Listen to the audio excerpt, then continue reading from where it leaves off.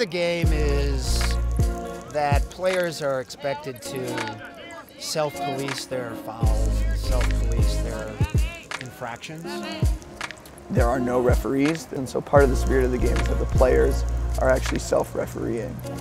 Uh, spirit of the game is making fair calls and being able to self-officiate in a productive and fair way. And it's a, it's a very interesting dynamic because basically it's asking players to put aside their intensity for winning and live with the fact that they have to be honorable. Uh, I think part of the spirit of the game is the competition of it and not just being there uh, to make friends or to have an easy time, but actually challenging yourself. Spirit of the game is basically respect for your opponent. You know, you call your own fouls, so you need to have a level of understanding with your opponent if you want to both enjoy the game together.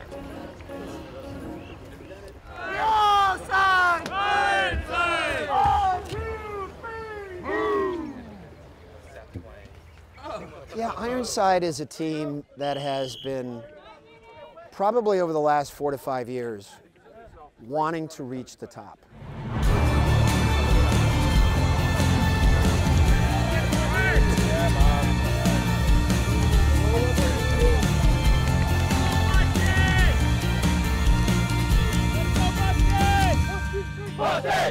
Um, as a team, this year we're really focusing on three principles, more, team, and now. Nothing changes, more team now, let's go. Come on, let's go guys, let's go. The way we see it is you can really always be giving more. You can always be pushing yourself harder, holding yourself to a higher level of accountability in terms of what you can bring to this group. Team is really about doing it for the team, being a teammate, not focusing on just yourself, but how do you help us produce a successful team and now is very much tied to winning the moment. You know, not focusing on the outcomes, really focusing on what's at hand at any moment and how we can be the best we can as teammates to win that moment. I play to be on teams like Ironside. I love I love the the people. A lot of the folks are my best friends. Uh, it's my first year playing with my brother on a team, which has been pretty amazing. Um, so I don't know, special place to be. I have found that the intense relationships that have been developed here on the field and off the field are really precious. I can't imagine people being closer. I can't imagine people having to put aside their ego more and do things that are best for the team. And the relationships here are extremely deep and profound. And I've seen it off the field, uh, and it's real. Boom. Did you get that on the GoPro? Yeah. Uh, playing for Ironside is pretty awesome. They definitely hold the, the standard of excellence to almost perfection. And the whole team will get on you if for even the slightest mishap. It's like, it's not even a negative thing, it's just like, we want to play perfect all the time. I think Ironside's staple is being a team that works with consistency and uh, sort of a lot of systems and structure. You know, we kind of play an old style offense, um, just you know straight, very very vanilla offense. Um, a lot of man defense. Um, our, our, zones are very simple and usually not for a whole point, so uh, we, we, kind of play very very old school. We look to execute really well and sort of to a T, um, which sort of it's actually also what defines a lot of the best teams out there is, is that that same kind of thing you have to play uh, above the spirit of the game. Like, there's no nonsense. There's no, like, we don't even want to foul on the mark. We want to play the game the right way. And so, from that perspective, like, I've grown a lot as a player playing in their system. You know, even if they use the vert stack, which I'm not a huge fan of, yeah, I have learned a lot from the system. Giving it 100% and doing it well is probably what inspires me the most. Is is leading a team in the right way and managing a team's culture to respond in the right way in the end is matters more to me than anything else. And, and I also believe that doing it the right way will lead to success on the field and off the field. I have not seen them yet reach their full potential. And so what is interesting about watching Ironside is how every play, every game, they're always trying to be better. And at some point, and I know they'll break through, they'll be the best team in the world. That's their goal. And as long as that goal continues to be a part of their passion, they'll always get better.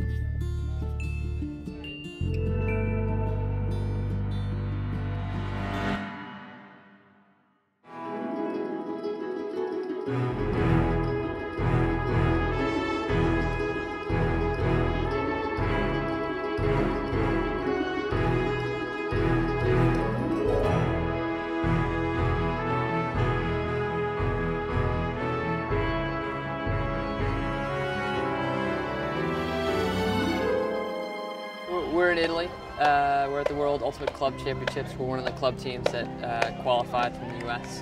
Uh, we're surrounded by the best quality teams from the top cities in the top countries. Uh. This is, I think, the largest grass ultimate tournament in the world. Um, there's about four and a half thousand players here, 160 teams, 35 fields, and I think it's an amazing tournament. Despite there being the rain and some games being canceled, and really there being a ton of logistical nightmares of people's flights getting canceled and housing being a mess, um, it, you know, we've had this big team effort of a lot of different people have contributed to making it work out. And now that we're in the tournament, it just feels like we're so fortunate to be here and having it work and being on a great team and getting to compete in this sport in one of the most beautiful places I've ever been. So then even to just get to play Frisbee on top of all that, you know, bonding with great guys and um, is pretty, is even better. Minimize the cushion, especially in the front of the stack. Let them feel you. Be physical, get in their way, make it difficult for them to cut. Offensively, play our game. We get the turn, we go from fiery on defense, we're chilly on O. Get the job done. Bell's gonna ring in two minutes. Let's go. Come on, let's go. Come on, Boston! Come on, Boston!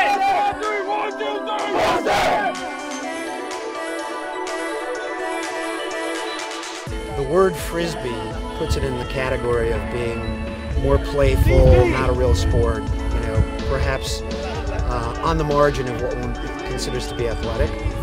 And that was my first reaction. But when you actually start to get into what is required of a frisbee player and what's required of being a good ultimate player, it's at the highest level of athleticism.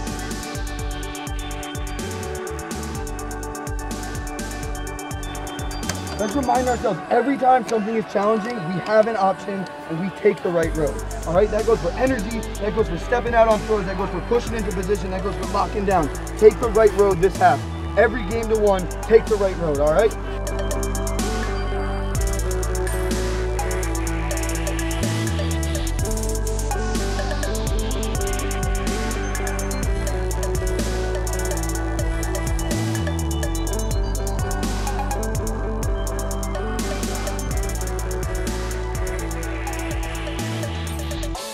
Something that you can't really describe about running and chasing down a frisbee that's just floating in the air and you're sprinting as hard as you can and you dive as high as you can and you make that catch. And that's a play in football you see every now and then. Here you have somebody sprinting 50 yards and they dive and make that play. And you know you just see it happen over and over in ultimate it never gets old. It's just amazing to watch uh, and it's amazing to be a part of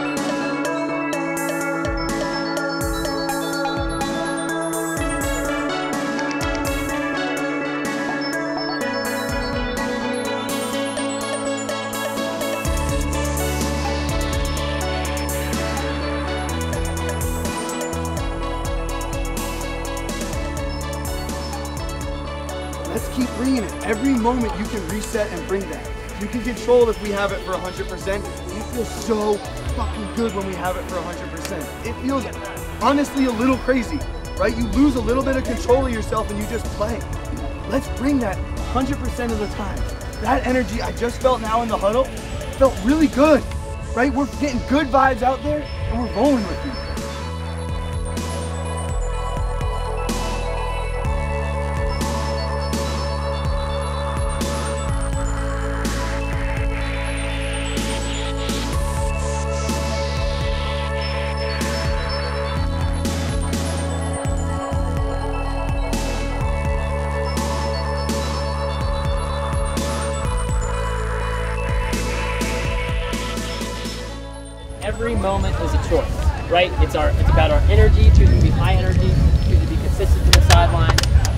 Field, being close to your guy, let, dictating where he goes rather than following him around.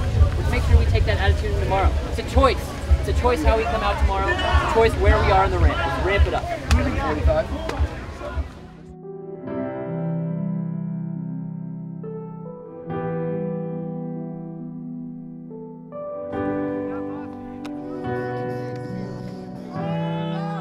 I don't really have anything super special to say because I feel like over the past five games, we have proven that point after point, we can all check in from the sideline and contribute. We can all play seven men on the field, communicating, running hard, locking our guy down, cutting hard, delivering the disc. We have shown that to each other, right? We have 26 guys in this huddle, point after point, can do it for each other. There is nothing that can stop us when we control that option, right? Point after point, make the choice to do it for each other, do it for more. More out!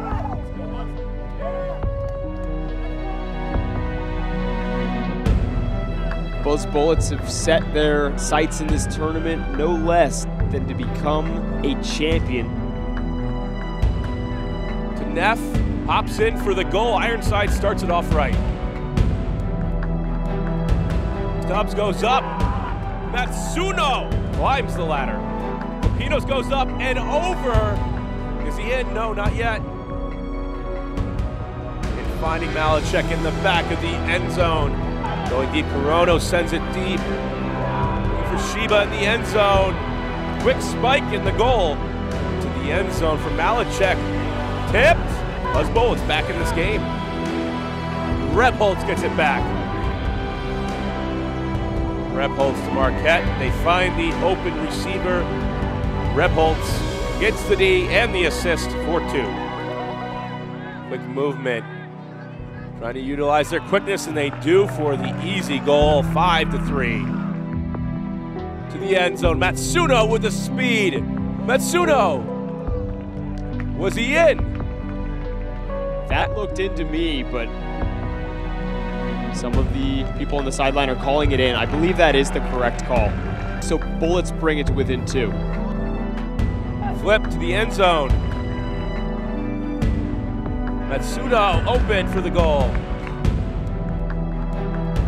McNaughton gets it on the second effort.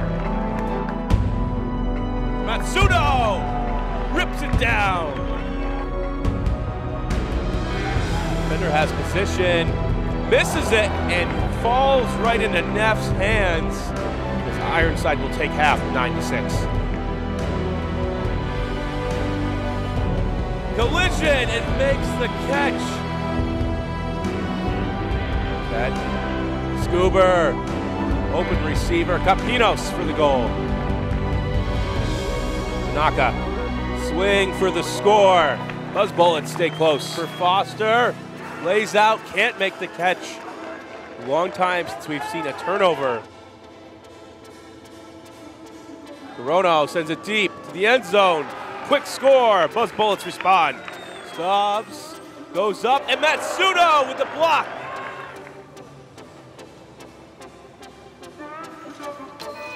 Receiver with steps. Corono is going to run it down.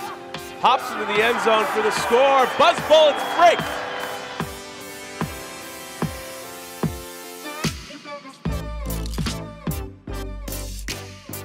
Capinos reads it correctly.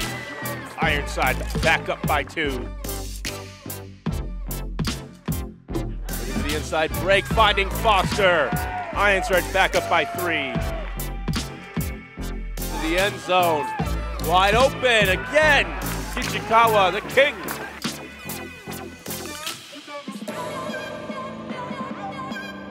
Puts Ironside back in. They're up 15-12 in this game to 17.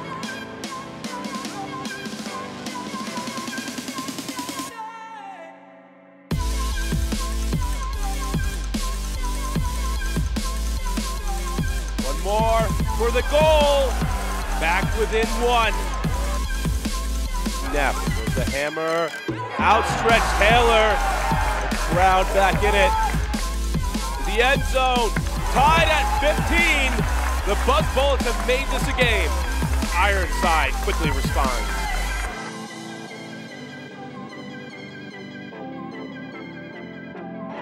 Indeed, by Ironside, miscommunication. Wallach with the block. Foul called on the play. That was a clean walk. To the end zone for the score. Double game point. 16 all.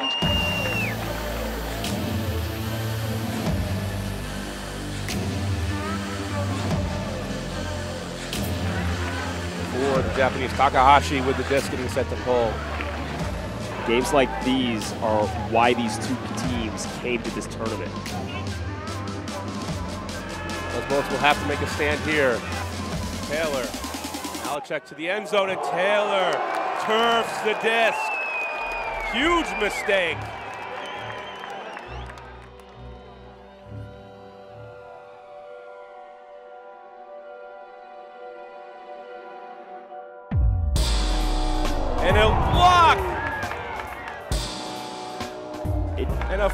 Foul called Malachek comes through. McCarthy is incensed on the sideline.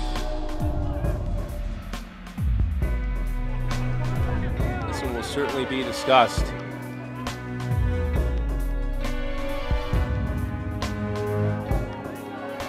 Everybody at the tournament is watching this game at this point.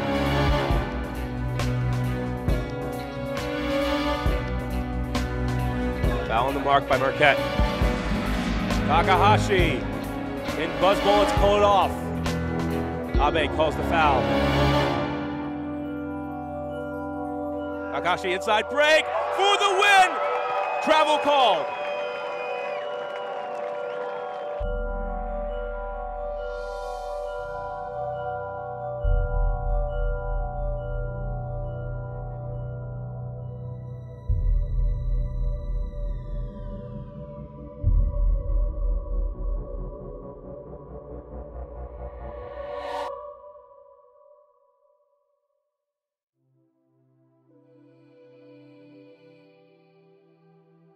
Buzz Bullets have done it.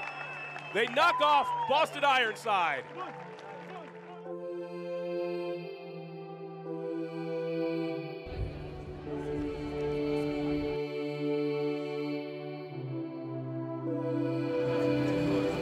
Buzz Bullets, I just want to say that uh, as I grew up and as a lot of the Ironside players in this huddle grew up, we dreamed of playing tight games the Japanese team on a world stage.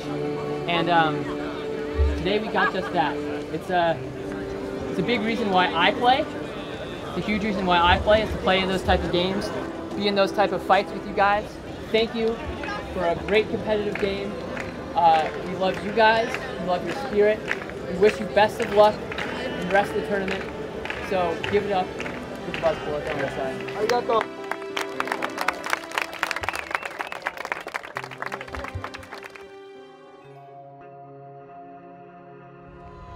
As someone, as an observer or someone was on, who was on the field during that second call, it's hard. It's hard to let it go a little bit. You know, we thought we made a play on the field, and when you make a play on the field that's playing within the rules, you want that play to be upheld. Such important plays can happen so incredibly fast that without slow-mo replay and that sort of thing, it, it can be very difficult to follow. Whether there was contact before, I didn't think so, but there was contact like when he hit the ground. And so when you get wrecked like that, your first instinct is to call foul because you, you get contact when you hit the floor. But then it's like, okay, was did he actually D it? You know, I think the only way I could have done that better is if I just caught the disc. You know, because then there'd be no question of what happened. Since I missed it, you know, and then it's open to interpretation. The reason that Spirit of the Game works is because of trust, and when it, it's very frustrating when you feel like the sort of trust behind it has been broken, and that that's what that's what we're reacting to is. Uh, it's, it's not just like people can have differing opinions on what happened and be truly like truly entrenched in those opinions in a good way. They thought different things happened and that's okay. He needed to make that call because they needed to keep possession. It's a 16-16 game. You know, there's there's nothing you can do about it, you know, from that standpoint. And we never should have let ourselves be in a situation where two uh, two bad calls could lose us the game. So managing bad spirit, I think you sort of have to trust the system. You have to trust the community, the culture, and what really matters is that it does work almost 95, 98% of the time in a really great way, and that it actually works at a higher percentage than a lot of refereed sports.